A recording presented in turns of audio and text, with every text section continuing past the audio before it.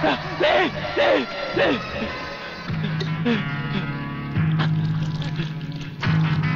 네, 네, 네, 네, 네, 네. 어, no.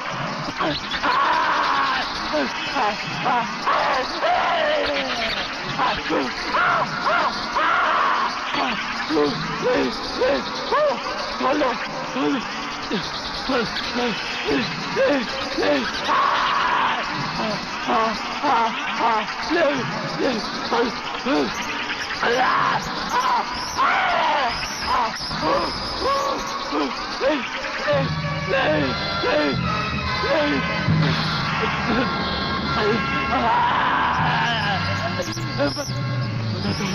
Ben alle koldu bile. Koldu. Koldu.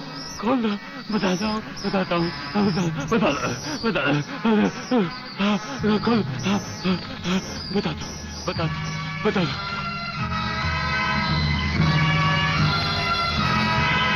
Professor Rangaswamy Pralaynath के कब्जे में है। आखिर बबन ने मुँह खोल दिया। One minute sir sir Delhi से होम मिनिस्टर चौधरी आपसे बात करना चाहते हैं। हॉटलाइन पर। बात कीजिए सर नमस्कार मंत्री साहब। नमस्कार। देखिए कल एयर फ्रांस की फ़्लाइट से प्रोफेसर खुराना फ्रांस से पहुँच रहे हैं। आपने उन्हें देखा भी है और उन्हें अच्छी तरह से जानते भी हैं। दुश्मन की नज़र भी उन पर होगी। इसीलिए उन्हें एयरपोर्ट से रिसर्च सेंटर तक पहुँचाने की ज़िम्मेदारी मैं आपको सौंप रहा हूँ। ये एक बहुत ही कॉन्फिडेंशियल मामला है। कॉन्फिडेंशियल मामला तो मैं जान चुका हूँ। ब्रिगेडियर। आप देखना प्रोफेसर खुराना कहा पहुँचता है। मगर प्रलयनाथ ये नामुमकिन है। मंत्री होने के नाते तुम्हारे लिए यह काम बहुत आसान है जीवनलाल। तुम एयरपोर्ट के किसी भी हिस्से से ब्रिगेडियर की आँखों में धूल झोंक कर उसे उठा सकते हो। मगर मैं तो प्रोफेसर को जानता तक नहीं और नहीं उसे देखा है। उसकी फ़िक्र तुम मत करो। मैंने बॉब को खबर कर दी है। हमारा विदेशी एजेंट फ्रांस से ही प्रोफेसर खुराना का पीछा साय की तरह करेगा। और वही तुम्हें एयरपोर्ट पर प्रोफेसर खुराना को तुम्हारे हवाले करेगा। राधा, जब तक मैं तुम्हें दूसरे आदमी तक नहीं पहुँचा देता, यूँ ही खामोशी से चलते रहना। एक लफ्ज भी बाहर निकाला तो साइलेंसर लगे रिवॉल्वर से। कब गोली निकलकर तुम्हारे अंदर दाखिल हो जाएगी, किसी को पता भी नहीं चलेगा। मुफ़्त! Yeah.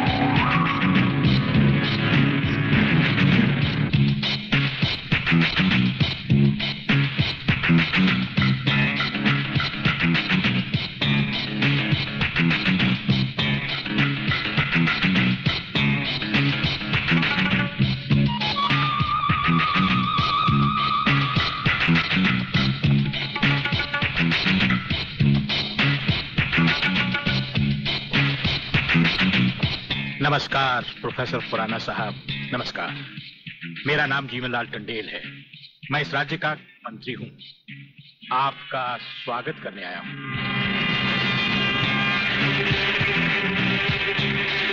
प्रोफेसर, तुम्हारे गले में जो मैंने हाथ डाला है, उसमें बम लगा है, जिसका रिमोट कंट्रोल मेरी जेब में है। जरा भी होशियारी दिखाई तो तुम्हारे चीतड़े उड़ जाएँगे। समझे? खामोशी से मेरे साथ चलो। चलो। आइए।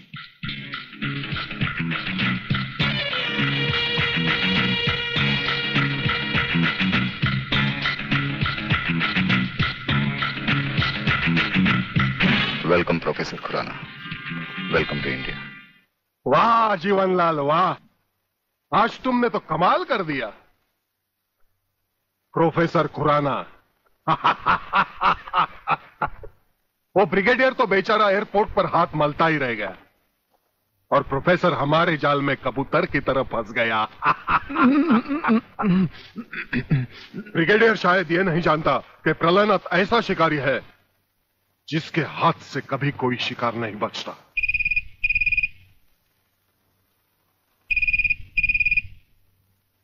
खोल दो इसे। हेलो अंधे के हाथ बटेर लग जाए तो वो शिकारी नहीं बन जाता, गेंडा स्वामी। जिसे तुम प्रोफेसर खुराना समझे बैठे हो, वो दरअसल तुम्हारा अपना ही एजेंट है। जो फ्रांस से प्रोफेसर खुराना का साय की तरह पीछा करता आ रहा है। समझे? प्रोफेसर तो वहाँ पहुँच चुके, जहाँ उन्हें जाना था। मुझे माफ़ कर देना प्रलयनाथ जी। मैं प्रोफेसर खुराना नहीं। आप ही का एजेंट हूँ। मगर हवाई जहाज़ में ही ब्रिगेडियर के कमांडो ने मुझे मजबूर कर दिया। प्रोफेसर ने गन पॉइंट पर मुझे जीवन लाल तक पहुँचाया। मैंने वहाँ भी कहना चाहा, लेकिन इन्होंने बम वाला हार मेरे गले में डाल दिया। मैं कुछ कहता तो वहीं जान से मारा जाता।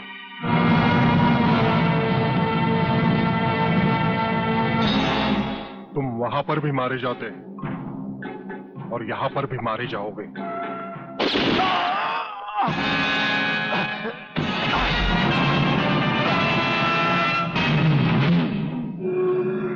मैंने विदेशी एजेंट को तो सजा दे दी है ब्रिगेडियर।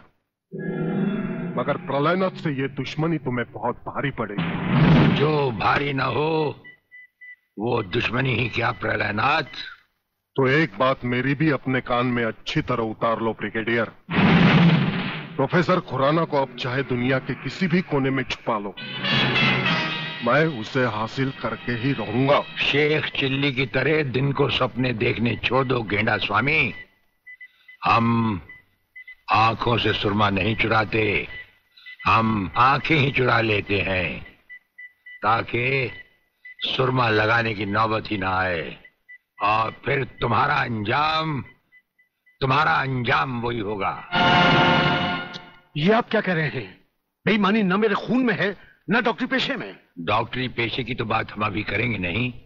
डॉक्टर गुप्ता इस वक्त बात है तुम्हारे सच और झूठ की।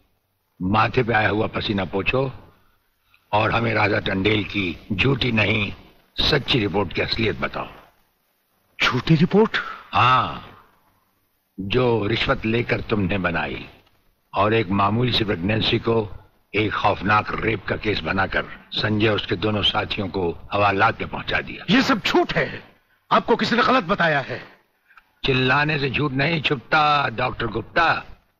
हमें पहचानो हमें ब्रिगेडियर सूर्यदेव सिंह कहा जाता है।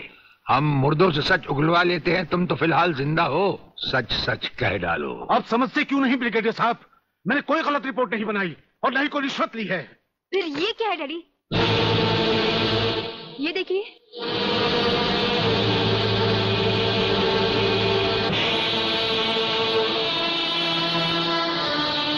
ये रुपए आपके कबड़ में थे डैडी।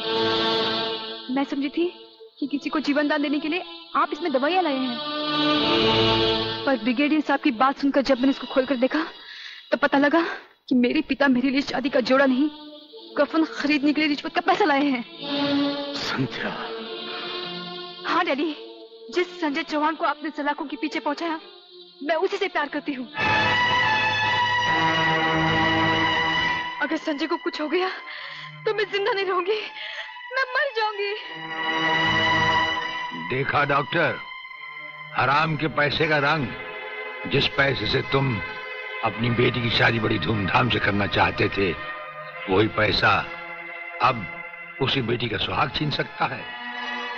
अब भी वक्त है डॉक्टर। सब कुछ सच सच कह दो।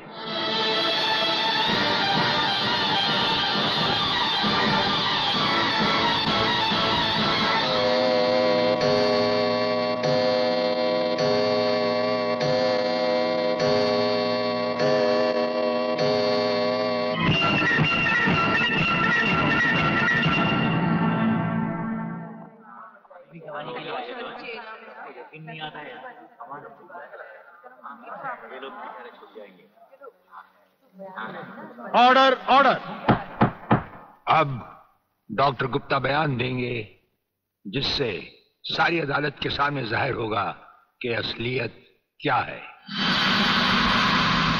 जज साहब मिस राधा टंडेल के बलात्कार की झूठी रिपोर्ट मैंने ही तैयार की थी। सच्चाई यह है वो पेट से थी और उनका अबॉर्शन मैंने ही किया था।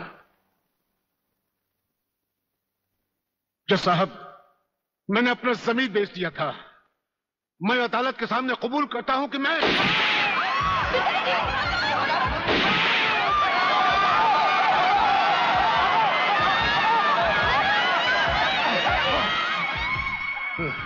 बेटे जज साहब रिश्वत लेकर वो पिताजी। छोटी रिपोर्ट वो मैंने मैंने मैंने ही तैयार की थी। वो लड़के निर्दोष। पिताजी नहीं ये नहीं हो सकता। पिताजी पिताजी।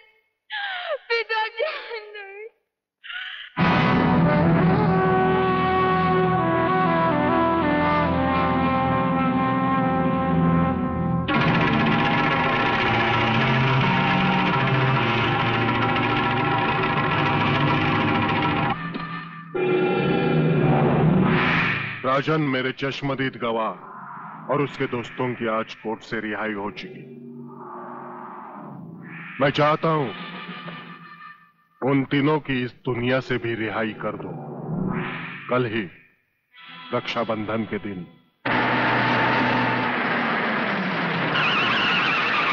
अरे, शांति, यहाँ क्या कर रही है हाँ। राखी। हाँ आज नारली पूर्णिमा है ना? हम्म, हम्म। अरे ये राखी लेके मेरी तरफ़ क्यों आ रही है? हाँ? कहीं हम्म, बाज़ार में ये राखी किसके लिए? तुम्हारे लिए और किसके लिए? शादी करने की तो हिम्मत तुम्हें है नहीं। इससे अच्छा है कोई दूसरा हिम्मत वाला मर्द ढूंढ लूँ और तुम्हें भाई बना लूँ। लाओ इधर हाथ। नहीं नहीं नहीं? नहीं नहीं। मैं तुम्हें भाई बना के नहीं नहीं।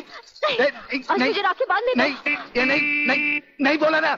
नहीं ए, मेरे को राखी बांधते क्या करते तू? ए, ए, नहीं ए, म- पुलिस वाला हूँ वैसे भी तेरी रक्षा करूँगा। नहीं अब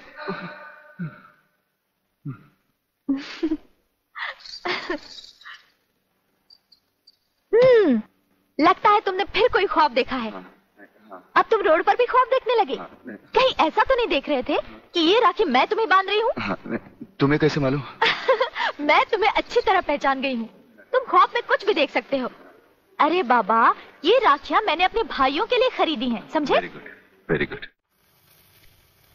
जानते हो राखी के धागे में कितनी ताकत होती है? नहीं यार माँ सच कह रही है। भाई बहन के इस पाक बंधन को तुम लोग इतना कच्चा मत समझो। अरे इसके धागे में तो वो ताकत है जो सात समुद्र पार भी भाई की रक्षा करता है। ये सब कहने की बातें अली, सब कहने की बातें। मेरा तो भगवान पर से भी विश्वास उठ गया है। और फिर ये तो एक राखी है, रेशम का तार है और कुछ भी नहीं।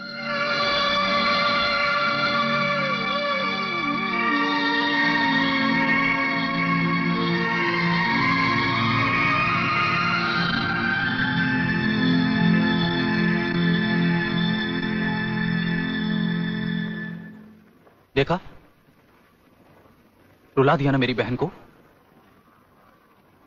और वो भी आज के दिन?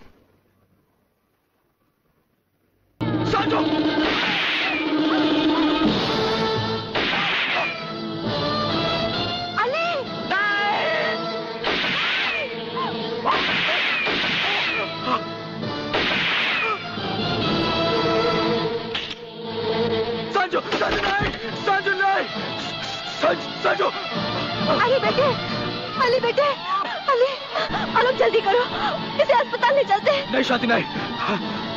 लग, लगता